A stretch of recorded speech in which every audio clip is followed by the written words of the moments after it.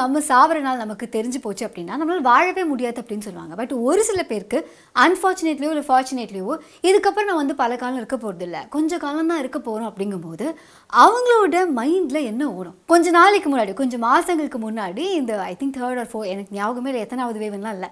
So second time வந்து எனக்கு Covid வரும்போது இன்றைக்கி எனக்கு கோவிட் வரப்போகுது அப்படிங்கிறது நல்லாவே தெரிஞ்சு போச்சு. ப்ராப்ளம் வந்திருக்கலாம். இனிமேல் தான் டெஸ்ட் எடுக்க போகிறோம் அதெல்லாம் தெரிஞ்சு போச்சு.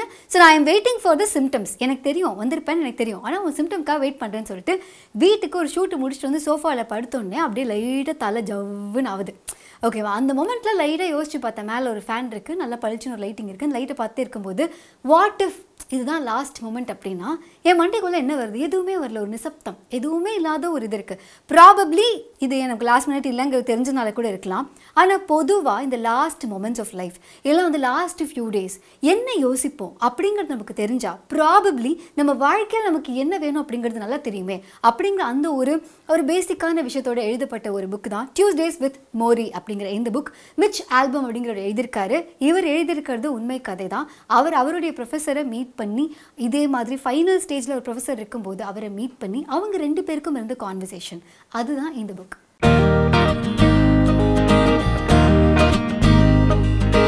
டென்த்து படிக்கும்போது இதாம்மா அவன் வாழ்க்கையிலே பயங்கர இம்பார்ட்டன்ட் இது மட்டும் நல்லா பண்ணிட்டு லைஃப் செட்டில்டு அப்படிம்பாங்க. அப்போ தான் நமக்கு டுவெல்த் கரெக்டான ஸ்கூல் கிடைக்கும். டுவெல்த்து படிக்கும்போது இந்த பப்ளிக் எக்ஸாம் தான் வாழ்க்கையிலே முக்கியம். டுவெல்த்து முடிச்சதுக்கப்புறம் ஒரு வேலைக்கு இன்டர்வியூ போனோன்னா இந்த இன்டர்வியூவில் வேலை கிடச்சி இந்த வேலை பயங்கர முக்கியம் அப்படின்னு சொல்லி இதுதான் நம்ம லைஃப் அப்படின்னு சொல்லி நிறையா மூமெண்ட்ஸில் இம்பார்ட்டன்ஸ் ஒன்று கொடுத்துருப்பாங்க. பட் ஒரு பாயிண்ட்டுக்கு மேலே பயங்கரமாக மெச்சூர் ஆகி ஒரு அறுபது வயசு எழுபது வயசுலாம் ஆகும்போது அவங்க லைஃப்பில் கோத்ரூ பண்ணுற விஷயங்கள் இல்லை அவங்களோட கான்வர்சேஷன்லாம் கேட்கும்போது நமக்கு யோசனை வரும். இதெல்லாம் நிஜமாவே உங்களுக்கு இம்பார்ட்டண்ட்டான விஷயமா இருக்கா? படத்தில் வந்து ஒரு கல்யாணம் நடக்குதுன்னா அப்படி ஒரு பயங்கரமான ஒரு இமோஷன் இல்லை வந்து ஒருத்தங்க இறந்து போகிறாங்க அப்படின்னா ஒரு எக்ஸ்ட்ரீம் இமோஷன் இது எல்லாமே படத்தில் பார்க்குறோம். பட் நிஜமாவே நம்ம வாழ்க்கையில் இந்த மாதிரியான தருணங்கள் வரும்போதெல்லாம் இப்படி தான் இருக்குமா? இல்லை இந்த இடத்துல இப்படி தான் இருக்கும் நமக்கு ஒரு ப்ரெஷர் இருக்குமா? அந்த மொமெண்ட்டில் நமக்கு மைண்ட் எப்படி இருக்கும்? ஸோ பொதுவாக திடீர்னு ஏதாவது ஒரு ஆக்சிடென்ட்டில் இறந்து போகிறாங்க அப்படின்னா சுற்றி இருக்க நிறைய பேருக்கு வந்து ஒரு பயங்கர ஷாக்கிங்கான ஒரு இவெண்ட்டாக இருக்கும். இந்த ஹார்ட் அட்டாக் இந்த மாதிரியான விஷயங்கள்லாம் சுற்றி இருக்கவங்களுக்கு எப்படி இருக்குன்னா திடீர்னு என்னடா நல்லா தானே இருந்தார் காலையில் கூட பேசினார் நேற்று கூட பார்த்தனே அப்படிங்கிற மாதிரி ஒரு மொமெண்ட் இருக்கும். ஆனால் ஒரு சில பேருக்கு ஏதாவது ஒரு டிசீஸ்னாலேயோ இல்லை வந்து பயங்கர ஏஜிங் இருக்கும்போது ஓகே இவ்வளோ தான் இன்னும் ஒரு ஃபியூ மந்த்ஸோ இல்லை ஃபியூ டேஸோ தான் அப்படின்னு இருக்கும்போது அந்த பீப்புள் கிட்ட நம்ம பேசும்போது அவங்க நிஜமாவே அந்த எண்டுலேருந்து லைஃப் எப்படி பார்க்குறாங்க? இங்கேருந்து நம்ம லைஃப்பில் இதுக்கப்புறம் தாங்க வீடு வாங்கணும் இதுக்கப்புறம் தாங்க கார் வாங்கணும் ஒரு நல்ல பொண்ணோ பையனோ பார்த்து கல்யாணம் பண்ணணும் குழந்தை பெற்றுக்கணும் அதுக்கப்புறம் நான் இந்த வேலையில் இப்படி போகணும் கார் வாங்கணும் இந்த அசையெல்லாம் இருக்குது இதெல்லாம் முடிஞ்சு தான் ஏஜிங்கே நடக்க போகுது. ஆனால் அந்த பக்கம் ஏஜ் ஆகி அந்த எண்டில் குழந்தை பெற்று கார் வாங்கி வீடு வாங்கி எல்லாம் முடிச்சுட்டு அந்த இடத்துல ஒருத்தங்க இருக்காங்கல்ல அவங்க இங்கே இருக்கிற லைஃப்பை எப்படி பார்க்குறாங்க அப்படிங்கிற அந்த ஒரு கான்வர்சேஷன் தான் இந்த புக்கில் பதிவாயிருக்கு. இந்த மார்ச் டுவெண்ட்டி டுவெண்ட்டி இந்த லாக்டவுன் போட்டு புதுசில் நான் தற்செயலாக கோயம்புத்தூர் போகிறேன் நான் போன அடுத்த நாளே வந்து லாக்டவுன் போடுறாங்க. என்னை அக்கா குழந்தைங்க சம்மர் ஹாலிடேஸ்க்காக அங்கே வந்திருந்தாங்க. அவ்வளோதான் அதுக்கப்புறம் அங்கே ரெண்டு வருஷம் அங்கேயே தங்கிட்டாங்க. அப்புறம் எங்கள் அம்மா அப்பா அங்கேயே தான் இருக்காங்க. எங்கள் பாட்டி வந்து குழந்தைங்களோட அங்கே வந்ததுனால நாங்களாம் மட்டும் அங்கே கோயம்புத்தூரில் இருக்கோம். லாக்டவுன் போட்டாச்சு. ஸோ வீட்டில் எல்லார் வீட்லேயும் அப்படி தான் அவங்கவுங்க ஃபேமிலி மட்டும் மக்களோடு இருக்கிற அந்த ஒரு தருணம் வந்து நடந்து லாக்டவுன் அப்போது அப்போது ஒரு நாள் வந்து நல்ல மொட்டை மாடியில் நான் கைத்து கட்டில் போட்டு எங்கள் அப்பா உட்காந்துருக்காரு சுற்றி நாங்கள்லாம் வந்து இந்த சைக்கிள் மாதிரி இருக்கிற ஒரு சில விஷயங்கள்லாம் ஓட்டி விளையாண்டுட்டு செம்ம காற்று அந்த மாதிரி இருக்கும்போது வந்து உட்காரும்போது எங்கள் அப்பா சொல்ல ரிட்டையர் ஆகிட்டார் வந்து உட்காரும்போது சொல்கிறாரு இவ்வளோ தானே அணு வாழ்க்கை? இவ்வளோ தானே வேணும்? எனக்கு பிடிச்சவங்க எல்லாருமே இங்கே இருக்கீங்களே. இனிமேல் என்ன கேட்க முடியும் அந்த வாழ்க்கையில்? அப்படின்னு அவர் கேட்கும்போது ஒரு மொமெண்ட்டில் இவ்வளோ தான் நீங்கள் எதிர்பார்க்குறீங்களா? அவ்வளோதானா நீங்கள் இன்னும் பெருசாக எங்கேயும் ட்ராவல்லாம் பண்ணலையே. இன்னும் நீங்கள் நிறைய விஷயங்கள் வாங்கலாம். இன்னும் நீங்கள் எத்தனையோ விஷயங்கள் பண்ணலாம். ஆனால் உங்களுக்கு இவ்வளோ தானே மனசுக்கு நிம்மதியாக இருக்கா? அப்படின்னா எங்கள் அப்பா அப்படியே அப்படியே கண் கலங்கிட்டு சொல்கிறாரு இங்கே பாரு என் பொண்டாட்டி என் கூடவே இருக்க? என்ன மாதிரியான ஒரு மனைவி? என் பொண்ணு என் பக்கத்துலேயே இருந்து என்னை பார்த்துக்கிறேன் பேரன் பேத்தி என்ன இப்படி இருக்குது வாழ்க்கை அப்படின்னு சொன்னாங்க.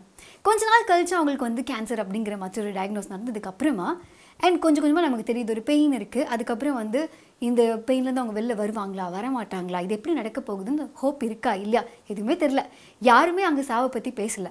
பட் ப்ராபப்ளி டெத் இருக்கலாமோ அப்படிங்கிற மேபி எங்களுக்கு அந்த சின்னதாக ஒரு மைன்யூட் ஒன் பர்சன்டாக தோணி இருக்கலாமோ என்னமோ தெரில யாருமே ஆனால் டெத்தை பற்றி எதுவுமே பேசலை. பட் அப்போ நாங்கள் இருந்த கான்வர்சேஷன் சின்ன வயசுலேருந்து இத்தனை வருஷம் நாங்கள் பேசாத விஷயங்களை அந்த ஒரு சில நாலு மாதத்தில் பேச முடிஞ்சுது அப்படின்னா நிஜமாகவே அந்த எண்டில் இருக்கும்போது அவங்க பார்க்குற விதமும் அவங்க பார்க்குற அந்த வாழ்க்கையும் ஏதோ ஒரு இடத்துல போய் நிற்கும்ல அந்த மொமெண்ட்ல எல்லாத்தையும் லெட் கோவாக விடுறதுக்கு நம்ம தயாராக இருப்போமா? சின்ன ஒரு பொருள் என்னோட ஃபோனில் ஸ்க்ராட்ச் விழுந்தாலே முதல்லலாம் ஐயோ அடுத்த ஃபோன் வாங்கணுமே அப்படின்னு இருந்த ஒரு மோட்லேருந்து இல்லை உடனே அந்த ஸ்க்ராட்ச் காட்டை மாற்றணும் அப்படி இந்த மோட்லேருந்து I okay to let go of the things you love of the people you love of the moments that you help close இது எல்லாத்தையும் விட்டுட்டு போக தயாராக இருக்குமா? அப்படின்னு கேள்வி கேட்கும்போது அந்த மூமெண்ட்டில் இருக்கும்போது அவருக்கு தேவைப்பட்டது ஒன்றே ஒன்று தான் சுற்றி எனக்கு பிடிச்சவங்க என் கூட இருக்கணும் அப்படின்னு. ஸோ அந்த மாதிரி மிச்ச ஆல்பமுடைய இந்த புக்கில் அந்த மோரிஸ் அப்படிங்கிற அந்த ஒரு தாத்தா அவருக்கு வந்து வயசோட பயங்கர ஏஜ் ஆகிட்டாரு அவருக்கு வந்து ஒரு இல்னஸ்னு சொல்கிறாங்க டயக்னோஸ் ஆகுது. அண்ட் அவர் கொஞ்சம் கொஞ்சம் நாளில் வந்து அவருடைய ஒவ்வொரு உறுப்புகளும் வந்து செயலிழந்து போகுது. அதுக்கப்புறம் வந்து மொத்தமாக வந்து இறக்க போகிறார் இப்படி ஒரு நிலைமையில் ஒரு மனுஷன் பாசிட்டிவாக வாழ்க்கையை ரசிக்க முடியுமா? அவரோட வீட்டில் அவர் படுத்திருக்க அந்த படுக்கையிலேருந்து பார்க்குற அந்த ஜன்னலில் இருக்கிற பறவைகள் பற்றியெல்லாம் அங்கே இருக்கிற இலைகள் பற்றியெல்லாம் பகிர்ந்துக்கிறார். இது யார்கிட்ட பகிர்ந்துக்கிறாரு அப்படின்னா இவர்கிட்ட ஸ்டூடெண்ட்டாக வந்து மிச்ச ஆல்பம் வந்து படிச்சிருக்காரு. ஸோ பல வருஷம் கழிச்சு இந்த மாதிரி இன்னும் நம்ம ப்ரொஃபஸர் தானே? என்ன இந்த நியூஸ்லலாம் அவரை காமிக்கிறாங்க? ஓ இறக்க போகிற மனுஷர் இதை பற்றிலாம் பேசுகிறாரா அப்படிங்கிற மாதிரி பார்த்ததுக்கப்புறமா இவங்களும் அவங்களும் வந்து ஒரு பிளான் எவ்ரி டியூஸ்டே நம்ம மீட் பண்ணுறோம் அப்படின்னு. ஒரு பாயிண்டில் ஒவ்வொரு டியூஸ்டேயும் இங்கே பார்த்துட்டே இருக்காங்க. ஒவ்வொரு வாழ்க்கையை பற்றி பேசுகிறாங்க கல்யாணத்தை பற்றி பேசுகிறாங்க காதல் பற்றி பேசுகிறாங்க பிஸ்னஸ் பற்றி பேசுகிறாங்க இந்த லைஃப் டெசிஷன்ஸ்லாம் எடுக்க முடியாதது ஹோப்லெஸ்னஸ் ஃபெயிலியர்ஸ் இந்த மாதிரி ரிக்ரெட்ஸ் இது எல்லாமே வந்து பகிர்ந்துக்கிறாங்க. நம்ம இங்கேருந்து இதெல்லாம் வார்த்தைகளாக இமோஷனாக பார்க்க முடியும். நம்ம லைஃப்லாம் அப்பப்போ கோத்ரூ பண்ணியிருப்போம்.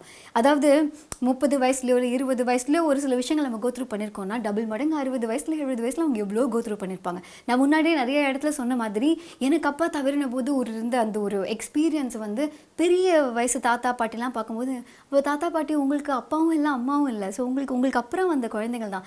உங்களுக்கு ரத்தம் சின்ன வயசுலேருந்து நீங்கள் பார்த்த அந்த உறவுகள் யாருமே இல்லாத போது எப்படி நீங்கள் காலையில் எழுந்திரிச்சு நார்மலாக ஒரு லைஃப் லீட் பண்ணுறீங்க உங்களோட லைஃப் எப்படி இருக்குது அந்த மாதிரியான ஒரு தோணல்லாம் வரும். ஸோ இந்த இடத்துல என்னென்னா மிச்ச ஆல்பமும் உங்களோட ப்ரொஃபஸரும் வந்து எவ்ரி டியூஸ்டே மீட் மீட் பண்ணலாம் அப்படின்னு சொல்லி பிளான் பண்ணுறாங்க ஸோ அதுதான் இந்த டியூஸ்டேஸ் வித் மோரி அப்படிங்கிற இந்த புக்குடைய டைட்டிலும் கூட.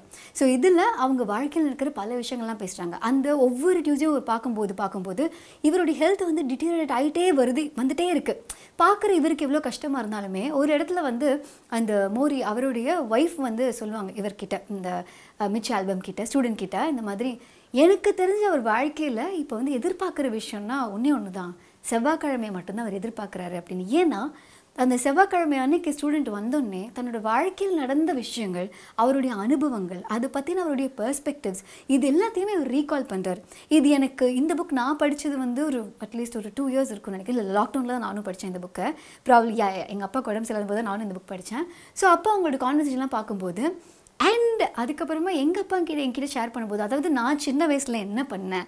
நான் பண்ண ஒரு விஷயம் அவருக்கு வந்து சின்ன வயசில் எப்படி ஒரு ஷாக்கிங்காக இருந்தது. ஏன் பொண்ணா? ஏன் பொண்ணா இதெல்லாம் பண்ணுறா அதாவது ஒரு தடவை என்கிட்ட இன்னும் அந்த ஆடியோ ரெக்கார்டிங் அவர் பேசும்போது நான் எடுத்து வச்சுக்கிட்டேன். அதில் என்ன சொல்லியிருப்பாருன்னா எனக்கு வந்து சைக்கிள் ஓட்ட கற்றுக் கொடுத்தாரு. இது எல்லா டேடிஸும் பண்ணுற ஒரு விஷயம் தானே. ஸோ வந்து சைக்கிள் ஓட்ட கற்றுக் கொடுத்தாரு. எனக்கு ரொம்ப ஹைட்டாக இருக்கிற சைக்கிள் வாங்கிட்டு வந்துட்டார். அது கூட நிறுத்தினே நான் ஓட்ட மாட்டேன் ஓட்ட மாட்டேன்னு பயங்கரமாக அடம் பிடிச்சேன். அதுக்கு எங்கள் அப்பா பயங்கர திட்டு. எங்கள் அப்பாவுக்கு வந்து எதனால ஸ்போர்ட்டாக ஸ்போர்ட்டிவாக இருக்கணும். எதுவுமே இது ட்ரை பண்ண மாட்டேன். எனக்கு பயமாக இருக்குது விழுந்துருவேன். அந்த மாதிரிலாம் சொன்னேன் எங்கள் அப்பாவுக்கு சுத்தமாக பிடிக்காது. விழுந்தாலும் பரவாயில்லங்கிற மாதிரி தான் இருப்பார். அந்த சைக்கிள் நான் அவ்வளோ அழுதேன்னு சொல்லிட்டு அடுத்த நாள் கோவத்தில் வேற ஒரு சைக்கிள் வாங்கிட்டு வந்துட்டார். அந்த சைக்கிள் வந்து நான் ஓட்டினா என் முட்டியை இடிக்கும். அந்தளவுக்கு வந்து இது இடிக்கும். இந்த மாதிரி எடுத்துகிட்டு வந்துட்டார். இதில் எனக்கு ஒரு நாள் சொல்லி கொடுத்தாரு. அடுத்த நாள் என்ன பண்ணி எங்கள் அப்பா கண்ணு ச சமக்கம் என்ன உனக்காக அவன் வீட்டில் சைக்கிள் இல்லை. எதுவுமே இல்லை. எங்கள் வீடு ரொம்ப குட்டி வீடு. எங்கள் வீட்டில் எங்கள் அப்பாவுக்கு சைக்கிள் தான் இருக்குது ஸோ வந்து நான் சைக்கிளே வாங்கி கொடுத்துருக்கேன். இந்த பொண்ணு பாரு அது வந்து ஓட்ட மாட்டேங்குது அப்படின்னு சொல்கிறேன்னு சொல்லிட்டு அடுத்த நாள் எங்கள் அப்பாவை நான் வந்து எங்கள் அப்பா மத்தியானம் சாப்பிட்டு தூங்கினதுக்கப்புறமா சாயங்காலமாக கூப்பிட்டேன் நான். எனக்கு சுத்தமாக ஞாபகம் இல்லை. கூப்பிட்டதுக்கப்புறம் எங்கள் அப்பா வெளிலேருந்து பார்க்குறாரு. அப்பா வந்து பாருங்கப்பா அப்படின்னு சொல்லிட்டு நான் வந்து அந்த எந்த சைக்கிள் நான் ஓட்ட மாட்டேன்னு சொன்னனோ அந்த சைக்கிள் நானே எடுத்து ஓட்டி காமிச்சேன் நான். எங்கள் அப்பா வந்து பார்த்து ஷாக் ஆகிட்டு எப்போ ஓட்டி பழகினாங்க காலையில் ஃபுல்லாக நான் ஓட்டியிருக்கேன் சாயங்காலம் வந்து எங்கள் அப்பா கேட்குறாரு ஏம்மா அதான் இது பயமாக இருக்குன்னு சொன்னி ஏன் ஓட்டினேன் இல்லை நான் இது ஓட்டினா நீங்கள் தான் சந்தோஷப்படுவீங்கன்னு சொன்னீங்களே அப்படின்னு சொல்லி நான் ஓட்டினேன். அப்போ எங்கள் அப்பாவுக்கு எப்படி இருந்துச்சுன்னா என் பொண்ணுக்கு ஏன் சந்தோஷம் இவ்வளோ இம்பார்ட்டண்ட்டாக படுதாச்சா? நான் அவளோட சந்தோஷத்தை நான் வந்து இதில் ப்ரையாரிட்டி பண்ணலையே அப்படிங்கிற மாதிரி இருக்கிறது ஸோ நம்ம சின்ன வயசுலேருந்து நம்மளை திட்டிருப்பாங்க இதெல்லாம் பண்ணியிருப்பாங்க. நம்மக்கிட்ட ஒரு பேரண்ட்டாக அவங்க என்ன லேர்ன் பண்ணாங்க அப்படிங்கிற அந்த ஒரு ரிஃப்ளெக்ஷனை அந்த லாஸ்ட் ஃபியூ மந்த்ஸில் தான் வந்து நான் கேட்டு தெரிஞ்சுக்கிட்டேன். காமராஜருக்கு ஓட்டு போடாமல் தோக்க வச்சிட்டோம் அப்படின்னு சொல்லிட்டு ஒரு நாள் அப்படி ஒரு அழுகை எங்கள் அப்பா. அதாவது ஒரு ஃபேமிலியை தாண்டி ஒரு சொசைட்டியில் நான் எந்த ஒரு பர்சனாக இருந்தேன் என் நான் வந்து ஒரு ப்ராப்பரான ஒரு சந்ததி தான் விட்டுட்டு போயிருக்கேன்? ஒருவேளை நாங்கள் எல்லாரும் காமராஜருக்கு ஓட்டு போட்டு ஜெயிக்க வச்சிருந்தோம் ஒருவேளை தமிழ்நாடு வேறு மாதிரி இருந்திருக்குமோ? உங்களுடைய ஃப்யூச்சர்லாம் வேறு மாதிரி இருந்திருக்குமோங்கிற அளவுக்கு யோசிக்கிற அளவுக்கு அந்த கடைசி ஒரு சில தருணங்களில் எப்படிப்பட்ட தாட்ஸ்லாம் வரும் அப்படிங்கிற ஒரு ரிஃப்ளெக்ஷன் தான் இந்த புக்குமே இந்த புக்லேயுமே வந்து மிச்சால்பம் என்ன பண்ணுவாருன்னா தன்னுடைய ப்ரொஃபஸர் ஆப்வியஸ்லி வந்து அவங்க இறக்க போகிறாங்க அப்படிங்கும்போது அவங்க மேலே இன்னொரு அட்டாச்மெண்ட் இருக்க தானே செய்யும். ஸோ அவர் என்ன பண்ணுவார்னா இவருக்கு பிடிச்ச ஃபுட்டை வந்து இவருக்கு பிடிச்ச ரெஸ்டாரண்ட்லேருந்து எப்போவுமே வாங்கிட்டு வாங்கிட்டு போவார் ப்ரொஃபஸருக்கு ஆனால் ப்ரொஃபஸருக்கு ஒரு பாயிண்ட்டுக்கு அப்புறமா அவருக்கு வந்து சாப்பிடவே முடியாது. ஆனால் அப்போவுமே இவர் அதே ரொட்டீனாக போய் அந்த சாப்பாடை வாங்கிட்டு வந்து இதில் வைப்பாங்க. ஸோ நிறைய பேர் சொல்லுவாங்க இன்னும் எதுக்கு இமோஷனலாக இருக்கணும் லாஜிக்கலாக இருக்கணும் ப்ராக்டிக்கலாக இருக்கணும்? சம்வேர் இது எல்லாமே கிஃப்ட்ஸ் தம் ஹோப் அந்த அந்த ப்ரொஃபஸர் வந்து அந்த ஃபுட்டு பார்க்கும்போது தன்னுடைய ஒய்ஃப் அதை எடுத்து வைப்பாங்க. ஃப்ரிட்ஜுக்குள்ளே தான் எடுத்து வைப்பாங்க. ஏன்னா கண்டிப்பாக ஒரு நாள் சாப்பிட முடியாது. இருக்கும்போது சம்வேர் யாரோ ஒருத்தங்க நம்மளை பற்றி ஒரு விஷயத்தை ஞாபகம் வச்சு அதை கொண்டு வந்து கொடுக்குறாங்க. அப்படின்னு இருக்கும்போது அது ஒரு எக்ஸ்ட்ரா பாசம் தானே. இப்போ இந்த விஷயத்த சொன்னால் இது தான் விளம்பரம் மாதிரி இருக்கும். பட் திஸ் ஆல்சோ ஹேப்பன்ட் ஏன்னா எனக்கு ஆக்சிடென்ட் ஆகி இந்த பல்லெல்லாம் உடஞ்சி போய் நான் ஹாஸ்பிட்டலில் படுத்திருக்கும் போது என்னோடய காலேஜ்லேருந்து என் ஃப்ரெண்ட்ஸ்லாம் வராங்க என்னை பார்க்கறதுக்கு. வாங்கிட்டு வரும்போது இப்போது வந்து என்னோடய கிளாஸ்மேட்டாக இருந்தான் ராஜுன்னு. இப்போ பிக் பாஸோடைய டைட்டில் வேணும் கூட. அவன் வந்து வரும்போது என்ன பண்ணால் எல்லாம் ஃப்ரூட்ஸ் வாங்கிட்டு வரணும்ல. ஸோ அதனால் மாம்பழம் வாங்கிட்டு வந்துட்டாங்க. மாம்பழம் வாங்கிட்டு வந்தோடனே நான் வந்து கொடுத்தோன்னே என் பல்ல காமிச்சேன். பல்லே இல்லை மேன் எப்படி சாப்பிட முடியும்? அப்படின்னு சொல்லிட்டு நான் சிரிச்சோன்னே அவன் பார்த்து ஓ சாரி சாரி சாரி என்னன்னா நான் சில்டாக தான் இருந்தேன். ஆனால் என்ன அந்த கோலத்தில் பார்க்குறதுக்கு அவங்கள்ட்ட ஒரு ஐயோ ஆமாம்மா அப்படிங்கிற மாதிரிலாம் இருந்தது. அடுத்த நாள் மறுபடியும் வந்தான். என்னடா இது? சேம் விசிட்டர் ட்வைஸ் அப்படிங்கிற மாதிரி அடுத்த நாள் பார்த்தா வரும்போது மாசா கொண்டு வந்தான். நான் சொன்னேன் டேய் இப்போ என்னட்டடா இதை நான் மறக்கவே மாட்டேன் நான் என் வாழ்க்கையில் அப்படின்னு. ஸோ இந்த மாதிரி நம்ம பண்ணுற குட்டி குட்டி விஷயங்கள் அவங்கள ஞாபகத்தில் வச்சுருக்கோம் அப்படிங்கிறதுக்கு நம்ம பண்ணுற சின்ன சின்ன விஷயம் இருக்குல்ல.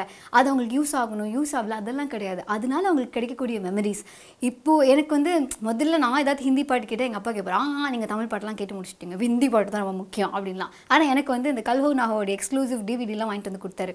எனக்கு பிடிக்கும் அப்படிங்கிறதுனால அது வாங்கிட்டு வந்து கொடுத்தாரு. அவர் வந்து சுத்தமாக ஏதாவது என்ன டேவா நைட்டா டைம் என்ன? என்னை சுற்றி யார் இருக்கா? இது எதுவுமே தெரியாத போது ஹம் தும் ஏ கம்ரே மே பந்துஹுன்னு சொல்லி ஒரு பாட்டு ஒன்று இருக்கும். ஐ டோன்ட் எந்த பாடம்னு எனக்கு தெரியல. ஸோ அந்த பாட்டு வந்து போட சொன்னார். அது அந்த பாட்டு ஞாபகம் இருந்தது இருக்குது அந்த பாட்டு போட சொன்னார். அந்த பாட்டை நாங்கள் ஸ்பீக்கரில் போடுறோம். ஹாஸ்பிட்டல் அந்த ரூமில் கத்தி எல்லாருக்கும் கேட்குற மாதிரி அந்த பாட்டை பாடி கண்ணில் ஃபுல்லாக தண்ணி. ஆனால் பெயினில் இல்லை ஒரு ஏகாந்தம் அந்த மியூசிக் நமக்கு ஒரு சில டைம் கேட்கும்போது ஒரு ஏகாந்தம் இருக்கும்ல. அந்த ஒரு ஏகாந்தத்தில் அந்த ஒரு பாட்டு பாடும்போது எங்களுக்கு ஹிந்தி பாட்டோ தமிழ் பாட்டோ என்ன பாட்டோ என்ன என்ன லாஸ்ட் ஃபியூ மூமெண்ட்ஸில் கூட அதுலேருந்து எனக்கு தெரிஞ்ச ஒரு ஃபோர் ஃபோர் டேஸ் கூட அப்போ உயிரோடு இல்லை. ஆனால் அந்த டைமில் எதுவுமே ஞாபகத்தில் வச்சுக்க முடியாத டயத்தில் கூட அந்த பர்டிகுலர் மியூசிக் கேட்டு அவர் ஒரு பிளிஸ்ஃபுல் மொமெண்ட்டுக்கு போனார்ல அந்த பெயினில் கூட அது முடியும் அப்படின்னா இதெல்லாம் தான் லைஃப்பில் இம்பார்ட்டண்ட்டாக அப்போ இந்த ஜேர்னியில் நம்ம எதுக்கு ப்ரையாரிட்டி கொடுக்கணும்? எதுக்கெல்லாம் நம்ம இம்பார்ட்டன்ஸ் கொடுக்கணும்? நம்மளோட டெசிஷன்ஸ் எது பேஸ் பண்ணி இருக்கணும்? ஸோ டெத்துங்கிறது இன்னெவிட்டபிளான ஒரு விஷயம். அது கண்டிப்பாக ஒரு நாள் வரதான் போகுது. ஆனால் அந்த டெத்தை எம்ப்ரேஸ் பண்ணி பயங்கரமாக okay man I'm ready to go அப்படின்னு சொல்கிற அளவுக்கு நம்ம வாழ்க்கையை வாழ்ந்துட்டோமா? அப்படிப்பட்ட வாழ்க்கையை எப்படி வாழ்கிறது அப்படிங்கிறதுக்கான புக் தான் இந்த book Tuesdays with Morrie by Mitch Albom so இந்த புக் வந்து ரொம்ப ரொம்ப சின்ன புக் அண்ட் யார் வேணாலும் படிக்கலாம். அந்த மாதிரியான ஒரு பொக்கிஷம் தான் இந்த புக் நான் சொல்லுவேன் அவ்வளோ ஸ்வீட்டான ஒரு புக் ரொம்ப கனெக்டிங்காகவும் இருக்கும். இதுக்காக வந்து நமக்கு யாரோ ஒருத்தங்க இந்த மாதிரி உடம்பு எல்லாம் பார்த்துக்கணும். அந்த மாதிரிலாம் எதுவுமே இல்லை. நமக்கும் ஒரு நாளைக்கு வயசாகும். நம்மளும் அந்த மாதிரி ஒரு இடத்துல இருப்போம். அப்போ வந்து நிறைய விஷயம் நம்ம நினச்சி பார்ப்போம். எதை தான் நினச்சி பார்ப்போம்? இந்த மாதிரியான பல விஷயங்கள்லாம் வந்து இந்த புக்கில் நீங்கள் படிக்கலாம். இந்த புக் உங்களுக்கு வேணும் அப்படின்னா அதுக்கான லிங்க் இருக்குது அதை கிளிக் பண்ணி நீங்கள் இந்த புக்கை வாங்கி படிக்கலாம். ஏன்னா இப்போ பேசினதில் இந்த எல்லா விஷயத்தையும் நீங்கள் வந்து பார்க்க வேணாம். கேட்டால் மட்டும் அது முக்கியமாக இந்த கொண்டா இருக்க பாரு எனக்கு பிடிக்கவே இல்லை அப்படின்னா நீங்கள் வந்து இந்த புக் ஷோடைய பாட்காஸ்ட்டில் எக்ஸ்க்ளூசிவாக ஸ்பாடிஃபைல கேட்கலாம். ஸோ அதுக்கான லிங்க்கும் கீழே இருக்குது இந்த வீடியோ உங்களுக்கு பிடிச்சிருந்ததுனா லைக் பண்ணுங்கள் கமெண்ட் பண்ணுங்கள் ஷேர் பண்ணுங்கள் மறக்காம த புக் ஷோக்கு சப்ஸ்கிரைப் பண்ணுங்கள் ஆர்ஜி அனந்தி என்ன ஃபேஸ்புக் இன்ஸ்டாகிராம் ட்விட்டர் வந்து நீங்கள் ஃபாலோ பண்ணலாம். நிறைய சொந்த கதை சோக கதைலாம் அங்கே ஷேர் பண்ணுவேன் இல்லை இல்லை புக்ஸை பற்றி மட்டும் தெரிஞ்சால் போதும் அப்படின்னா த புக் ஷோவே நீங்கள் ஃபேஸ்புக் இன்ஸ்டாகிராம் ட்விட்டர் மாதிரி நீங்கள் ஃபாலோ பண்ணலாம். குட் ரீட்ஸில் இந்த மாதிரியான நிறைய புக்ஸை பற்றி நீங்கள் எக்ஸ்ப்ளோர் பண்ணலாம். அதுலேயும் வந்து நான் இந்த புக்லாம் படிச்சு முடிச்சிட்டேன் அப்படின்னு ஆசைப்படுறேன். படிச்சுக்கிட்டே இருக்கேன். அந்த மாதிரி நான் அப்டேட்ஸ்லாம் அங்கே போடுவேன். ஸோ அதுக்கான லிங்கோ கீழே இருக்குது ரொம்ப நேரமாக நானே பேசிட்டு இருக்கேன். நீங்கள் என்கிட்ட ஏதாவது ஷேர் பண்ணணும் அப்படின்னு நினச்சிங்கன்னா RJ Ananthi the book show dot in அப்படிங்கிற மெயில் அடிக்கி நீங்கள் மெயிலாக அனுப்பலாம். Okay bye